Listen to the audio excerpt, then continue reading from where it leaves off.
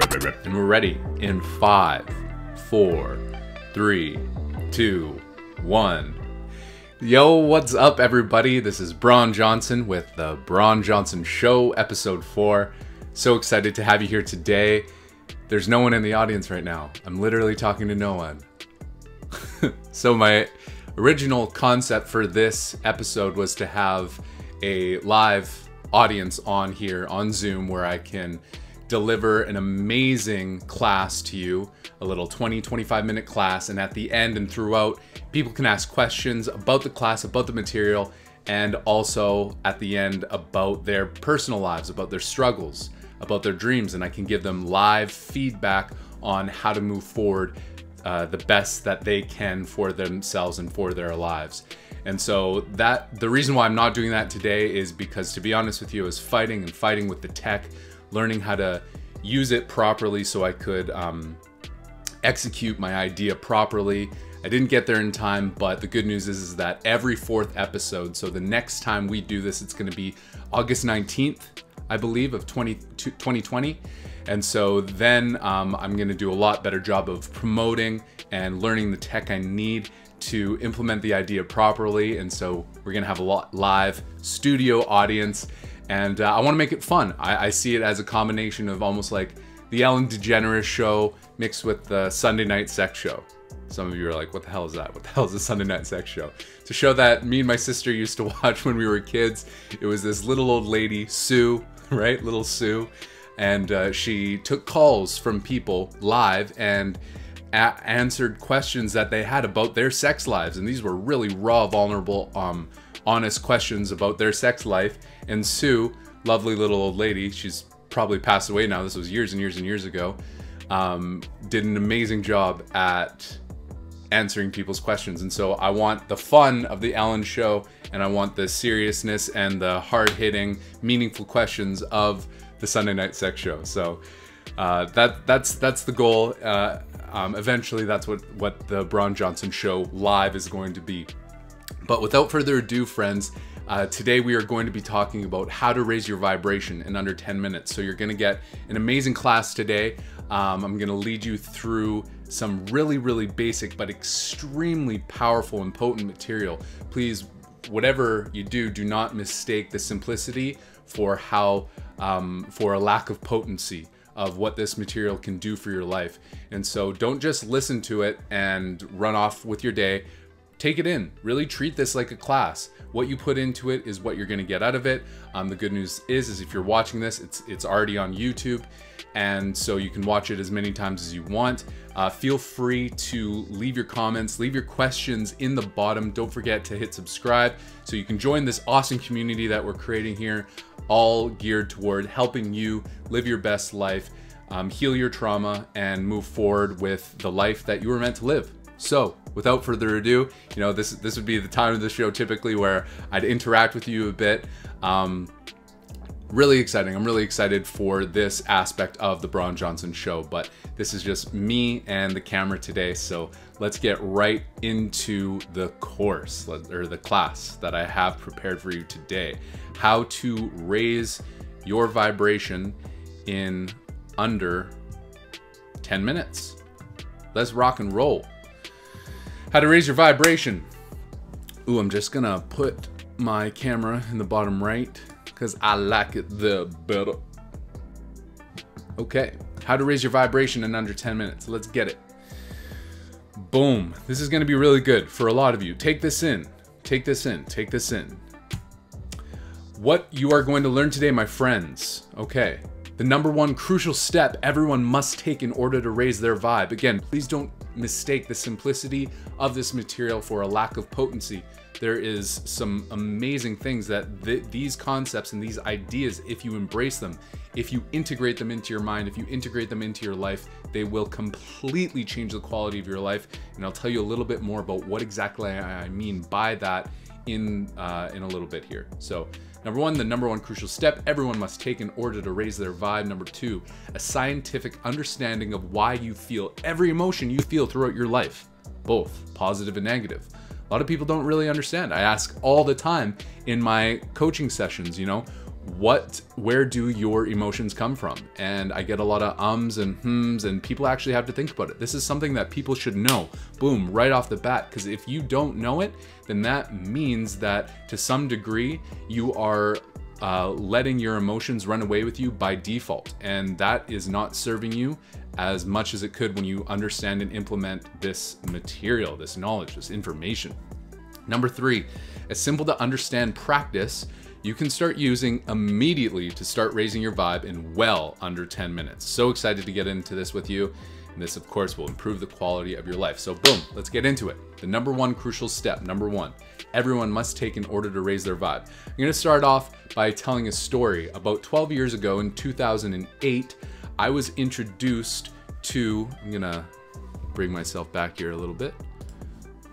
I was introduced to um, Brian Tracy, okay, who is one of the grandfathers of the personal growth industry in the 20th century, arguable. But anyway, uh, he was a big, big influence to me, and I um, tuned into the psychology of achievement. And in that audiobook, okay, in that audiobook, I learned something so powerful that I still take with me today, which is the root of all negative emotion is blame. That's Brian Tracy from the Psychology of Achievement. Understanding that every single negative emotion that you have, the root of it is blame. So for now, just understand that as a pure concept, okay? So now we got to ask ourselves what is the opposite of blame? If you want to totally negate blame from your life, the, the obvious practical answer is okay, well, what's the opposite of blame? And the answer is responsibility which if you break down the word responsibility, it's response able, meaning you're able to respond to something. So isn't that interesting? Instead of blaming, you know, the world, blaming the outside uh, outside people or blaming yourself, you're taking your power back and you are taking back ownership of your ability to respond in the way that you choose. So, very, very simple, friends, but again, very powerful. The number one crucial step you must take in order to consistently raise your vibration is to make the decision to take 100% responsibility for the way you feel in any given moment. 100% responsibility, meaning that every single emotion that you feel, you have to accept that it is you that is ultimately choosing that emotion. If you do not do that, then you will always be you will always feel like a victim to some degree to your circumstance and you'll always feel like you don't have any control over your emotion. And so this step alone can change your life dramatically if you implement it. So right now in this moment, just start to play with that idea in your head. And it doesn't have to be an intense, I know I'm coming at you with a lot of passion, but it can be a very soft acceptance in your heart, in your mind, in your body to just say to yourself, okay, I'm going to start accepting total responsibility for the way I feel in any given moment. totally has the power to change your life completely. Number two, I told you this is really simple. We're going fast, um, but it's it's uh, it's really powerful. So number two, a scientific understanding of why you feel every emotion you feel throughout your life, both positive and negative. So Question How does every emotion get inside your body? Now, the flawed premise, excuse me, I had a little burp ski. I'm gonna have some coffee. Cheers. Um, so, the flawed premise about how every emotion gets inside your body is that the way you feel is because of what happens to you, right? Something happens in the world and you have a reaction to it and you feel a certain emotion. But that's actually not true because that's the same as blame. Okay? When you really think about it, when you really break that down, the outside world and what happens ultimately has nothing to do with the way you feel. Ultimately. Because, like in number one, if you're taking full responsibility, it doesn't, for the way you feel, it doesn't matter what happens to you. You can feel good or you can feel bad. It depends on how you respond to it. So, the key um, point in number two, the scientific understanding, is that in scientific, what I mean by scientific, I mean quantifiable, reproducible, meaning that it's consistent. It's the same for every single human being on the planet, no matter what. And so the science here is that every emotion you feel, whether positive or negative, is your body's reaction to the way you are perceiving reality in any given moment. Read that a million times, listen to that a million times because it's so important to understand why you feel every emotion you feel. Is that your it's your body's reaction to the way you are perceiving reality in any given moment. Meaning that if you're looking at something, if you're looking at a person in a positive perspective, in a positive state of mind, you will experience positive emotion in your body. But what happens with most people is that they don't believe that they have any power over their perception, over their thoughts, over their beliefs. And so it's almost like their thoughts and their beliefs are thinking them. But when you engage in step one and take your power back and recognize that every emotion you feel is your body's response to the way you are looking at reality, you have a much, much higher interest in taking score and, and, and keeping account, keeping a, a conscious awareness on how you are looking out into the world. Powerful, powerful stuff. Number three, see, this is easy. A simple to understand practice you can start using immediately to start raising your vibe in well under 10 minutes. Let's get it. So, the first step, you know, I know I'm repeating myself a lot here, but again, repetition of information is the way you integrate it into your reality, into your life, and so it's important that we I keep on hammering this into your head. So the first step is to accept total responsibility for the way you feel. Number two, I understand that every emotion I feel is because of my response to my experience, not the experience itself. So let's engage in the practice now. Okay, so the practice in step one every time you feel negative emotion, ask yourself this life changing question. And I know that sounds a little bit hokey, but it is true. When you take your power back, you have the power to totally change the quality of your life because you are going to start showing up in a way that makes you genuinely happy because you are taking your power back and choosing to be at cause with your emotion instead of being a victim to it.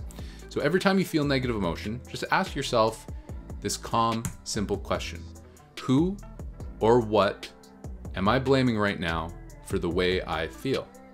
Interesting question. Who or what am I blaming right now for the way I feel? This is such a powerful question because when you get to the truth of who or what you are blaming, then you can have leverage over your emotion, right? Once you've heard the adage, the truth will set you free. Might sound cheesy because everybody says it, but it is very, very true. The truth will set you free. So when you get to the truth of what you're blaming, and here's the three most common things people do blame. Number one, themselves, right? How, how many times have you blamed yourself for something that you have or haven't done, right? So many people can relate to that, myself included. Next thing that people blame is other people.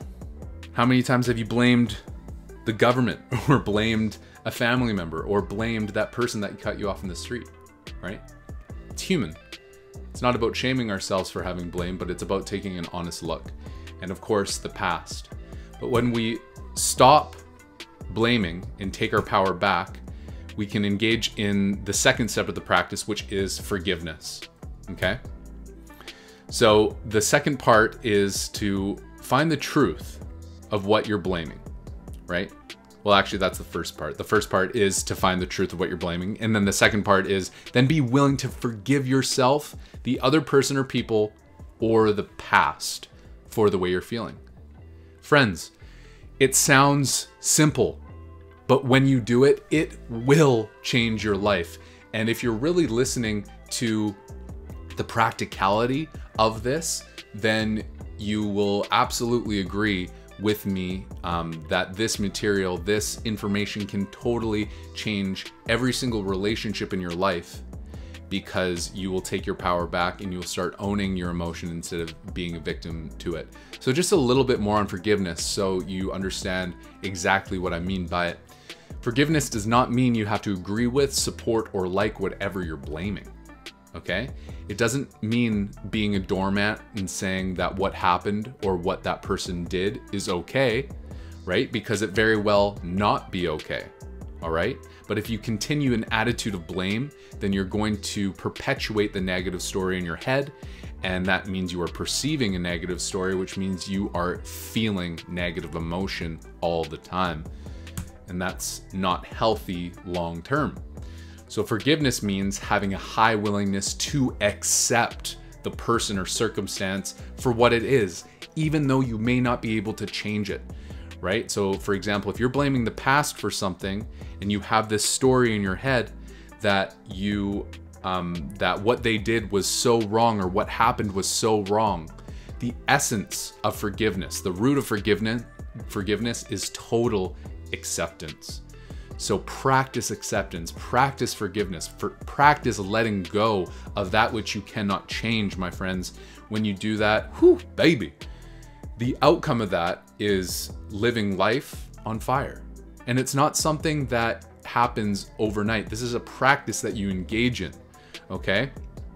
Also, it is a lot easier to practice this uh, practice this practice alongside other people that have a willingness to take their power back. Because the truth is, my friends, I don't know what your social circle is like, but if you are engaging with a lot of people who aren't willing to level up in their lives, then this this material is not going to seem as it's not going to make as much sense to you. But for the people that are really living life on fire, for the people that are really living uh, deep, meaningful, fulfilling lives for themselves, they are engaging in practices like this, whether they're aware of it or not. So, I told you this was quick. Easy peasy lemon squeezy. Summary The number one crucial step everyone must take in order to raise their vibe accept total responsibility for the way you feel. Boom. No one, no one, no one can make you feel negative unless you give them permission, whether you're aware of it or not. So practice taking your power back. A scientific understanding of why you feel every emotion you feel throughout your life. Every emotion you feel is because of your response to your experience, not the experience of yourself itself. And then the practice. Step one ask, what or who am I blaming right now for the way I feel? Be honest. Tell yourself the truth. The more honest and raw and vulnerable you are with yourself in step one about what you're blaming, the, the easier it will be to shift it in step two. Forgive the shit out of it. Accept that it happened. Accept that that person is like that. Accept that you may not be able to change it. And my friends, you will be able to totally raise your vibration in well under 10 minutes. I mean, for goodness sakes, when you really start practicing this on a high level, um, just making sure that this is all right. Yeah, it's good. Um, when you really start practicing on this on a high level, no one can no one can fuck with your system, right? No one no one can no one can tear you down. And I mean, I'm not saying that I'm perfect at this. I'm not saying that the goal is to be perfect. Well, I guess in a way it is, but the point is simply to to raise your vibration on a more consistent basis, right? Because it's like going to the gym. When you first start practicing this material or when you first go into a gym and you start lifting weights, what happens? It's hard, right? That sounded kind of like I was taking a shit. but you know what I mean? It's it's hard at first. But when you start flexing your mental and emotional and spiritual muscles in regards to not allowing anybody's negative story to become yours, then you become a much more potent, much more happy, much more fulfilling, much more successful human being in the world. And so I hope you enjoyed this short little class. This would typically be the point in um, in the in the live show here where I take live calls on the phone, um, whether through Zoom, and put this put the person up up here, or if they just want their voice being shared, great. Excuse me. Um, whatever it whatever it is. The point of this part of the segment of the show will be to give awesome, fantastic um, feedback to whoever shows up so that they can level up in their lives. My friends, all my love to you and I hope you have an amazing rest of your day. This is the Bron Johnson Show live, episode 4 How to Raise Your Vibration in Under 10 Minutes. God bless you.